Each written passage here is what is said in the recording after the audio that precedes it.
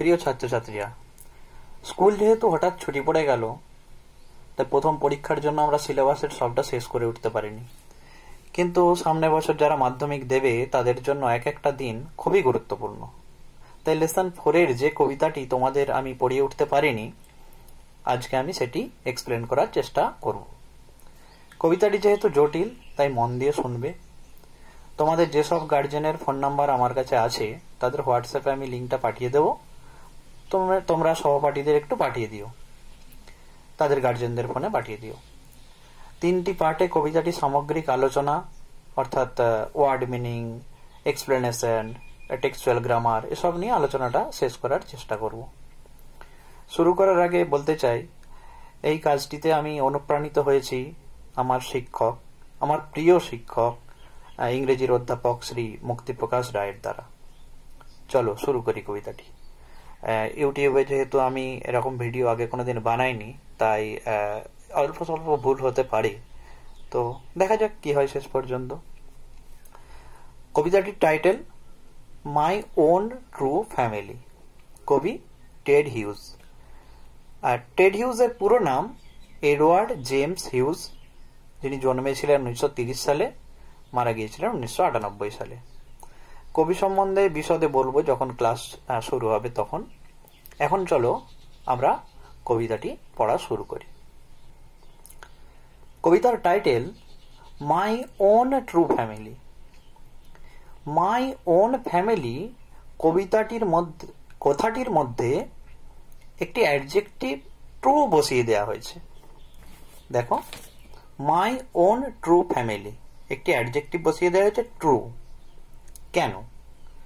তা কবিতাটা যখন আমরা সম্পূর্ণ করব, তখন সম্পূর্ণ বোঝা যাবে যে কেন এই ট্রু কথাটা দেওয়া হয়েছে। শুধু এটুকু বলি, তা তোমার ফ্যামিলি মানে তোমার বাবা মা, তুমি, তোমার ভাই বোন, কাকা কাকিমা, দাদু ঠাকুমা, এরা সবাই মিলেই তো তোমার ফ্যামিলি মাই ফ্যামিলি একটা মাই ফ্যামিলি তোমার কাছে মাই ওন ট্রু ফ্যামিলি কখন হয়ে ওঠে? জানো কখন হয়ে উঠবে? যখন তুমি পড়াশোনার জন্য বা অন্য কোনো কারণে বাইরে গিয়ে হোস্টেলে থাকবে, কারও বাড়িতে ভাড়া থাকবে, অনেক দিন পর নিজের বাড়িতে যখন ফিরবে, তখন বুঝতে পারবে হ্যাঁ এটাই আমার own true family my oh my own true family এই কবিতাটিতেও তোমরা দেখবে একজন ব্যক্তি কবি বলব না। কারণ এখানে আই বলতে কবি নিজেকে বলছেন না। এখানে আই মানে কবির একটা সত্তা। সে কবি নিজে হতে পারেন, আবার এই আই আমিও হতে পারি, তুমিও হতে পারো। রাম, শ্যাম, যদু, মধু, যে কেউ হতে পারে। আমরা আইটাকে বলব পোয়েট পার্সোনা কি বলব? বলব পোয়েট বলব না। কি বলব তাহলে?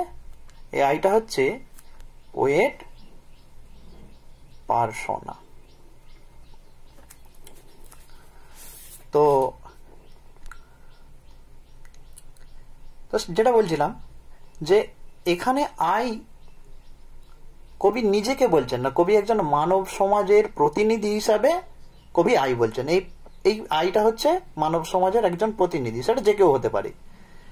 তো কবিতাটি একটি ড্রিম ন্যারেটিভ, অর্থাৎ স্বপ্নের মধ্যে একটা ঘটনা ঘটেছে, সেই ঘটনাটার বর্ণনাটা কবিতার মধ্যে দেওয়া হয়েছে। দেখো, একটা গল্প যেমন শুরু হয়, তোমরা ছোটবেলায় গল্প পড়েছো বা শুনেছো, যে ওয়ান্স আপন এ টাইম দিয়ে একটা গল্প শুরু হয়। দেখো, কবিতাটা সেরকম শুরু হচ্ছে। Once I crept in an oakwood I was looking for a stag once I crept in an oakwood oakwood হচ্ছে ওক গাছের বন। ওক, জানো তোমরা অনেকেই, যে oak is a kind of strong tree তো সেইটার যে একটা বন, সেইখানে অতি সন্তর্পণে ঢুকলাম আমি। তো আমি পরের পার্টটাই যাব, তারপরে এটা এক্সপ্লেনেশন আসব। I was looking for a stag তো লুকিং ফর কথাটা খেয়াল দেবে। লুকিং ফর বুঝতেই পারছ, এটা একটা ফ্রেজাল ভার লুক ফর সার্চ সোজা কথায় আমি গ্রামার নিয়ে পুরোটাই পরে আলোচনা আলোচনা করব। এটা একটা বিশেষ কারণে লিখলাম। তো, আমি খুঁজছিলাম কি? একটা হরিণ খুঁজছিলাম। আচ্ছা কবি খামোখাই হরিণ খুঁজছেন কেন? একটা বনের মধ্যে। তিনি মানে হরিণকে কি পাতা টাতা খাওয়াবেন? নাকি হরিণকে ধরে নিয়ে গিয়ে বাড়িতে পুষবেন? তোমাদের কি মনে হয়?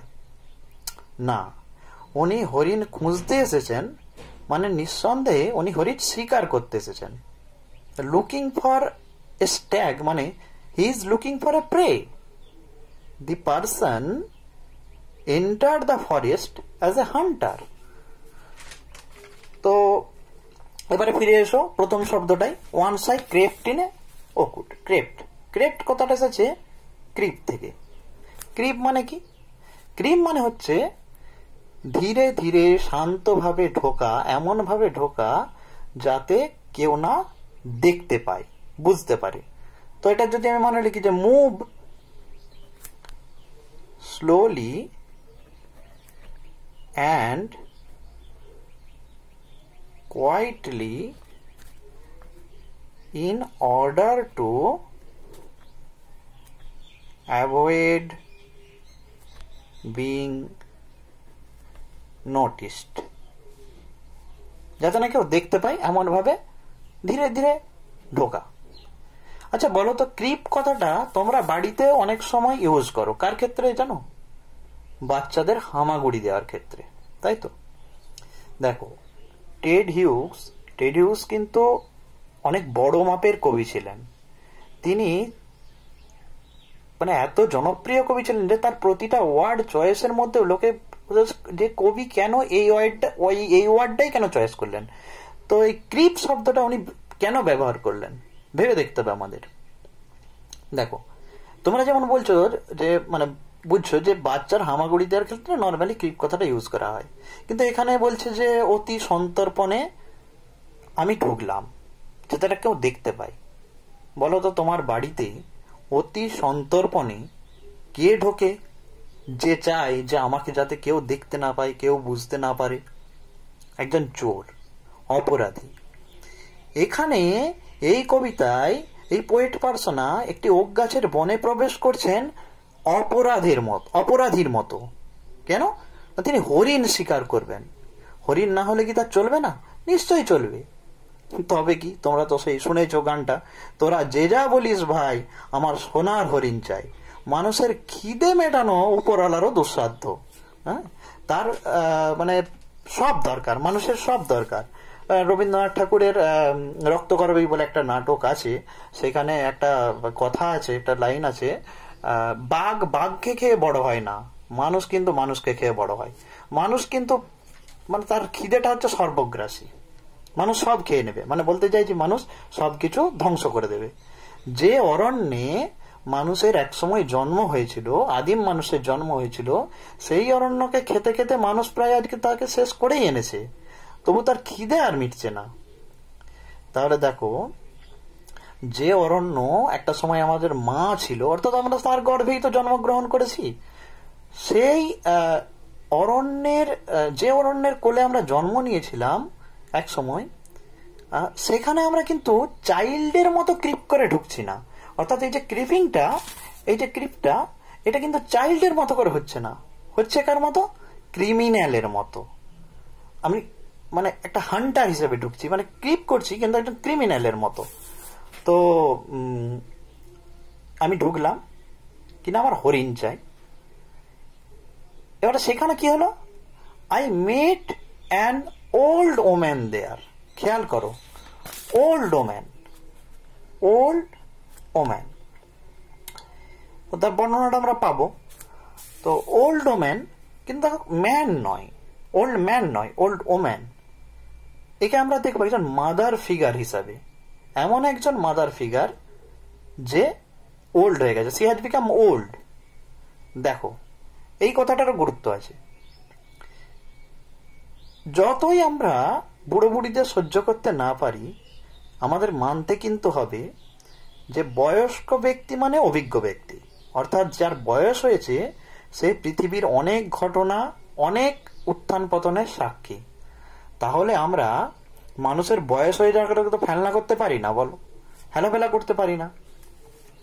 তো এখানে এই ওম্যান ওল্ড মানে সে কিন্তু মানে জীবনের অনেক কিছু দেখেছে। সে অতীতের সুদিন দেখেছে, বর্তমানের দুদিন, দুর্দিন দেখছে। সে অরণ্য সভ্যতার আশীর্বাদ দেখেছে, আর এখন মানুষ যে ইট, কাঠ, পাথরের জঙ্গল তৈরি করেছে, তার দুরবস্থা দেখছে, অভিশাপ দেখছে প্রকৃতিতে যে সবকিছু শেষ হয়ে যাচ্ছে, ধ্বংস হয়ে যাচ্ছে সেসবের সে সাক্ষী। তো, সেই ওল্ড ওম্যান একজনের সঙ্গে আমার দেখা হলো। এই ওম্যানটা আমরা পরে পাবো, অন্য কেউ নয় এ কিন্তু আমাদের মাদার নেচার অর্থাৎ যে প্রকৃতির কোলে একসময় মানুষের জন্ম হয়েছিল, যাকে আমরা এক্সপ্লয়েট করতে করতে শেষ করে এনেছি এই সেই রকমই এই সেই মাদার ফিগার ওটা আমি আবার পরে আসব। তো হঠাৎ করে এখন আমরা দেখব হঠাৎ করে এই বুড়ি বনে এলো, কোথা থেকে এলো, কেনই বা এলো? আচ্ছা আগে দেখে নি কেমন দেখতে বর্ণনা দিচ্ছে। All knobbly stick knobbly stick. তো নবলি নবলি, এই কথাটা কোথা থেকে এসেছে? একটা কথা আছে, নব। কে নবি? নব। নবটা কি? না, এ রাউন্ডেড লাম্প। তোমরা কোথায় দেখেছ আমি বলছি। রাউন্ডেড লাম্প, একটা গোল এরকম গোল, একটা উঁচু মানে গোল, গোলাকার অংশ। দেখবে বয়স্ক ব্যক্তি যাদের হাঁটুতে বাত হয়েছে, তাদের দেখবে হাঁটু যেখানে জয়েন্ট সেখানে দেখবে একটা গোল অংশ ফুলে আছে। এখানে জল জমে জল জমে অনেক সময় ডাক্তারটাকে বেকার সৃষ্ট বলে। তো কথাটা হচ্ছে যে, একটা গোল মতো উঁচু মাংসল অংশ, সেটাকে বলা হবে নব তো যেমন হাঁটুর ক্ষেত্রে কথাটা ব্যবহার হয় আমরা বেশিরভাগ ক্ষেত্রে নবলি নিজ বলে কথাটা ব্যবহার হয় হাঁটুর বাতের বোঝানোর জন্য। তো নবলি স্টিক তার মানে এমন একটা স্টিক যাতে রাউন্ডেড লাম্পগুলো রয়েছে। অর্থাৎ মানে স্টিকটা সোজা নয় স্টিকটার মধ্যে প্রচুর গাঁট আছে। এমন একটা স্টিক যাতে গাঁট আছে অর্থাৎ তার সারফেসে having lumps on the surface স্টিকের সারফেসে অনেকগুলো ছোট ছোট ছোট ছোট ছোট ছোট গাঁটের মতো রয়েছে। মানে লাঠিটা নড়বড়ে তো এরকম একটা লাঠি নিয়ে একটা ওম্যান ওল্ড ওম্যান সে দাঁড়িয়ে রয়েছে। আর rag what is rag rag হচ্ছে একটা পুরনো, ছিন্ন ভিন্ন পোশাক আর কি। মানে কি বলব? A torn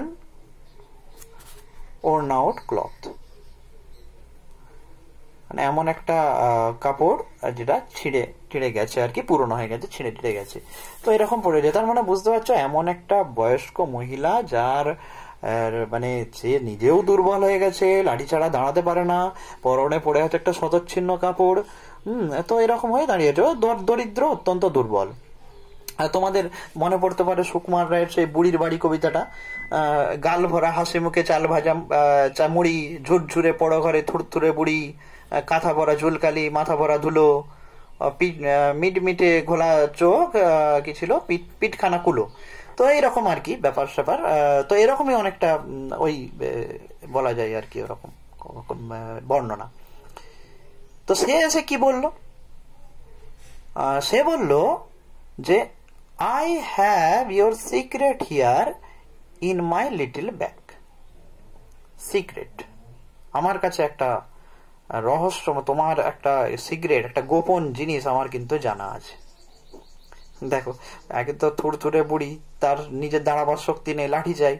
তার কাছে একটা ব্যাগ আছে। ব্যাগে নিশ্চয়ই দাঁড়াতে পারে না, ভারী তো কিছু নেই। কি আছে না সিক্রেট আছে? সেই, সে বলেই কি করল? Then she began to cackle cackle cackle মানে ক্যাকেল মানে খিকখিকিয়ে হেসে ওটা আর কি। বিকট শব্দ করে হেসে ওটা হ্যাঁ মানে কি বলব?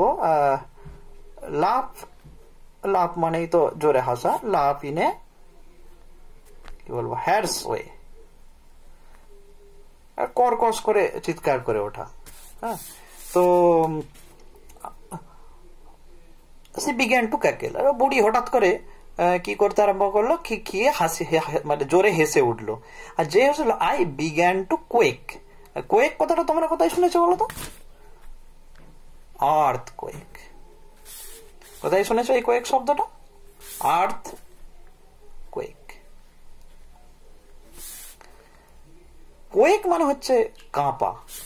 কোয়েক মানে হচ্ছে ট্রেম্বেল ভূমিকম্পের ক্ষেত্রে অর্থাৎ ভূমিকম্পের ক্ষেত্রে তোমরা শুনেছো যে আর্থ কোয়েক হয়েছে। রিক্টার স্কেল এত রিক্টার স্কেলে ছিল আর কি।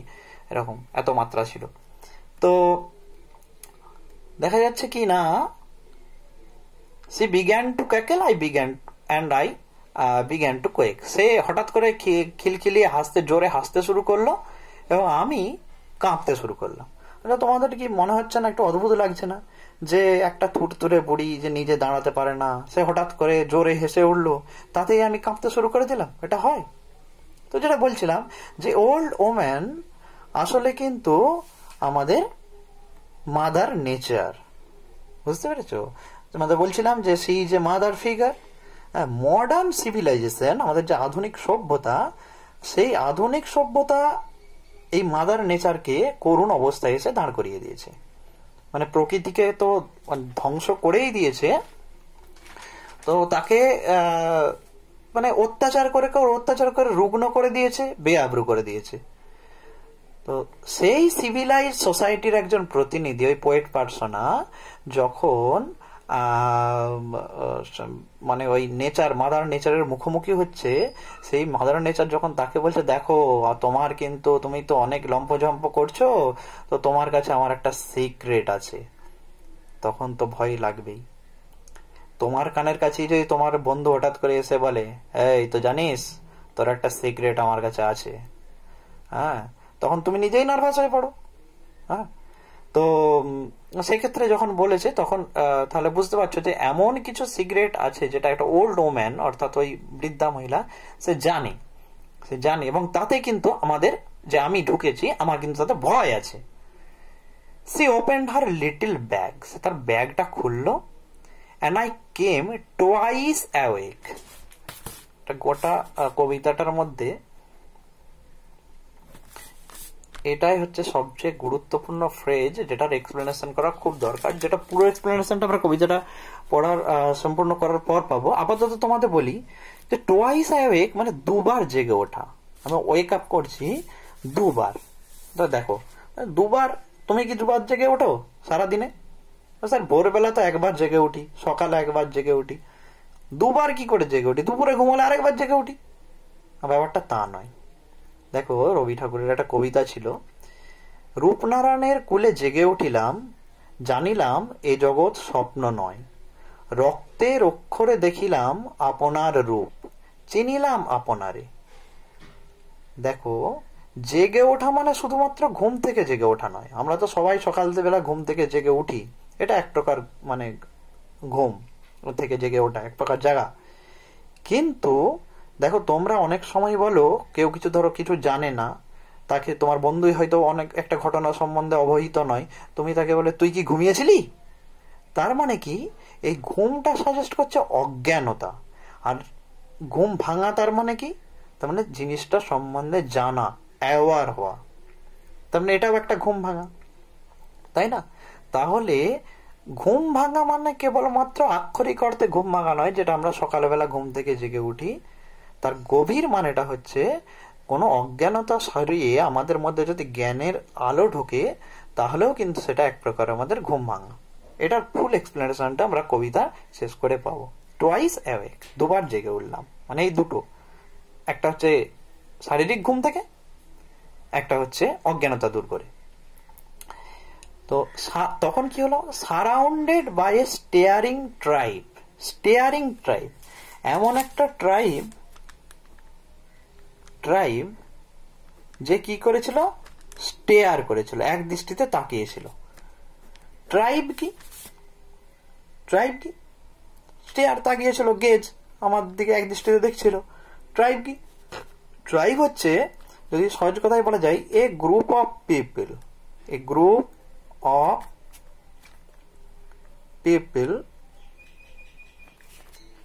sharing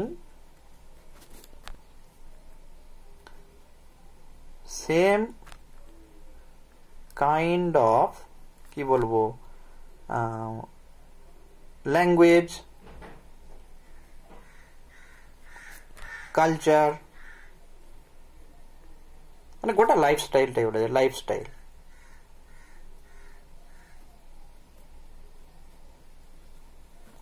lifestyle. So, a group of people sharing same kind of language, culture and lifestyle. একই মানে একটা গ্রুপ অফ পিপল একটা যাদের, যারা শেয়ার করে মানে একই রকম ভাষা, একই রকম সংস্কৃতি, জীবনযাত্রা শৈলী তাদের একই রকম এদের ট্রাইব বলে। কিন্তু ট্রাইব অর্থে আমরা মূলত বুঝি যে মানে আদিম জনজাতি। ট্রাইব বললেই আমাদের সেই ট্রাইবাল রেসের কথা মনে পড়ে। তো আমরা যেমন বিভিন্ন শব্দ দেখছি যে কবি সচেতনভাবে বসিয়েছেন, যেমন creep looking for old man knobbly cackle তো এরকম সেরকম মানে ট্রাইব কেন? মানে খামোকায় ট্রাইব বসালেন কেন? দেখো আমরা সবাই একসময় ট্রাইব ছিলাম। সিভিলাইজড হয়েছি তো মানে অনেক পরে। বন থেকে বেরিয়ে আসার পর সিভিলাইজড হয়েছি। বলা যায় বনের মধ্যে তো মানুষ ছিলাম, কিন্তু বন থেকে বেরিয়ে এসে মানে সিভিলাইজড হতে যে পশু হয়ে গেলাম। তো আদিম আদিম মানুষ বন্যপ্রাণীর আক্রমণ থেকে বাঁচার জন্য দলবদ্ধভাবে থাকতো। মানে গোষ্ঠী ছিল। ফ্যামিলি বলতে তখন কিন্তু এই গোষ্ঠীগুলোই ছিল। পরে সম্পত্তির অধিকার দখল, নিয়ে দখলের প্রশ্ন আসতে মানুষ সেই দ্বন্দ্ব রুখতে মানে কার কাছে সম্পত্তি যাবে, সেসব রুখতে মানুষ নিজের ছোট ছোট ফ্যামিলি তৈরি করল, বিয়ে করল সন্তান সন্ততি হলো, ছোট ছোট ফ্যামিলি তৈরি হলো, সেসব বড় হয়ে পড়বে। তো তো মানুষের তখন ফ্যামিলি বলতে ছিল এই বড় বড় গোষ্ঠী। তারা যেমন বন্য পশুদের হাত থেকেও বাঁচার জন্য গোষ্ঠীটা দরকার ছিল, তেমন পরে আরও পরে গিয়ে অন্য মানে পৃথক কোনো গোষ্ঠীর হাত থেকে বাঁচার জন্য দরকার ছিল। কিন্তু ফ্যামিলি মানে ছিল তখন অরণ্যের মধ্যে থাকা একটা দলবদ্ধ গোষ্ঠী। তো তখন ছিল মানুষ ট্রাইব তো এখন একে ধরে ধরেছে এক ধরনের ট্রাইব তার মানে আমি যখন ওই বনে ঢুকলাম পোয়েট পার্সোনা যখন বনে ঢুকলো, আমার যে পূর্বপুরুষ, অনেকদিন আগে, সেও কিন্তু একজন ট্রাইব ছিল। এখন আমাকে ঘুরে ধরে, ঘিরে ধরেছে একজন ট্রাইব মানে একদল ট্রাইব তো দেখো। Surrounded by a staring tribe আমার দিকে তাকিয়ে আছে কে? না, একদল উপজাতির লোক। এবার তারা লোক নয়, আমরা পরে দেখব সেটা। মানে একটা দল আমার দিকে তাকিয়ে দাঁড়িয়ে আছে, আর me tired to a stake. আর আমাকে বাঁধা হয়েছে একটা খুঁটিতে।